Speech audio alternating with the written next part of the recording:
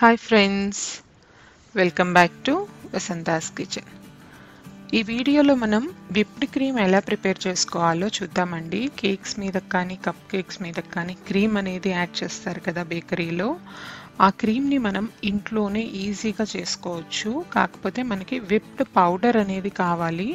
So ఇక్కడ మీరు చూస్తున్నారు కదా blue bird whipped topping powder అండి. ఇది మనకి ఏ సూపర్ మార్కెట్లో అయినా దొరుకుతుంది. ఇది ఫిఫ్టీ గ్రామ్స్ తీసుకున్నాము. సో ఇది ఎలా యూస్ చేయాలనేది ఇన్స్ట్రక్షన్స్ అనేవి మనకి ఆ ప్యాకెట్ బ్యాక్ సైడే ఉంటాయి. సో ఇది చేసుకోవడం చాలా ఈజీ చాలా తొందరగా అయిపోతుంది. సో దానికోసం ముందుగా ఒక మిక్సింగ్ బౌల్ ఇంకా ఎలక్ట్రిక్ బీటర్ అనేది యూస్ చేస్తున్నాము. అవి రెండు ఒక ముప్పై నిమిషాల పాటు ఫ్రీజర్లో పెట్టాలండి చిల్డ్గా ఉండాలి. ఆ తర్వాత విప్డ్ పౌడర్ ఉంది కదా ఫిఫ్టీ గ్రామ్స్ అని చెప్పాను పౌడర్ని ఇందులో తీసుకోవాలి. ఆ తర్వాత ఇందులోకి ఒక హండ్రెడ్ ఎంఎల్ వరకు చల్లటి నీరు తీసుకోవాలండి. ఫిఫ్టీ గ్రామ్స్ పౌడర్కి హండ్రెడ్ ఎంఎల్ వాటర్ తీసుకోవాలి.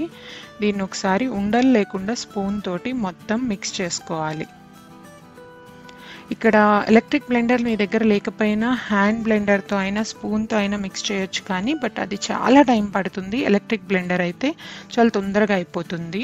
ఇప్పుడు హై స్పీడ్లో దీన్ని ఒక మూడు నిమిషాల పాటు బాగా బీట్ చేయాలండి. ఆ ప్యాకెట్ మీద మూడు నిమిషాలు సరిపోతుందని ఉంది బట్ ఆ టైంకి నాకు ఇంకా ఇప్పుడు క్రీమ్ రెడీ అవ్వలేదు. చూస్తే మనకు ఆ క్రీమ్ ఇంకా సాఫ్ట్గానే ఉంది. సో యాక్చువల్గా ఇది హార్డ్గా రావాలండి. అంటే మనకి అది బాగా కేక్ మీదకి వేసుకునేలా ఉండాలి. సో ఒకసారి పక్కన అయిన క్రీమ్ని అంతా ఒకసారి స్పాచులాతో తుడిచేసిన తర్వాత మరొక ఐదు నిమిషాల పాటు హై స్పీడ్లోనే బీట్ చేస్తే మనకి హార్డ్ పీక్స్ అనేవి ఫామ్ అయిపోతాయి. హార్ట్ పీక్స్ అంటే ఏంటంటే అండి ఇప్పుడు మీరు కనుక చూస్తున్నారు కదా ఇది మనం బాగా బీట్ చేసిన తర్వాత కంటిన్యూస్గా ఇప్పుడు కనుక మీరు చూస్తే హార్ట్ పీక్స్ అనేవి ఫామ్ అయిపోయాయి. అంటే ఆ బౌల్ని మీరు రివర్స్ పెట్టినా కూడా ఆ క్రీమ్ అనేది ఏ మాత్రము జారదండి జారి కింద కూడా పడదు ఎలా ఉందో అలాగే ఉంటుంది. సో అంటే మనకి క్రీమ్ అనేది రెడీ అయిపోయినట్టే.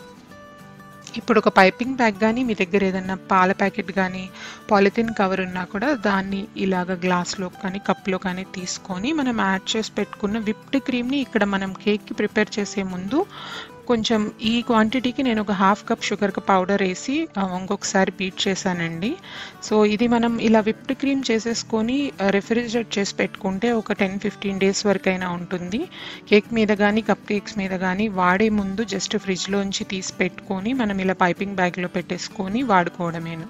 అంతేనండి ఎంతో ఈజీగా విప్డ్ క్రీమ్ని ఎలా ప్రిపేర్ చేసుకోవాలో చూసాం కదా. ఈ వీడియో కనుక మీకు నచ్చినట్లయితే లైక్ చేసి మీ ఫ్రెండ్స్ ఫ్యామిలీకి షేర్ చేయండి.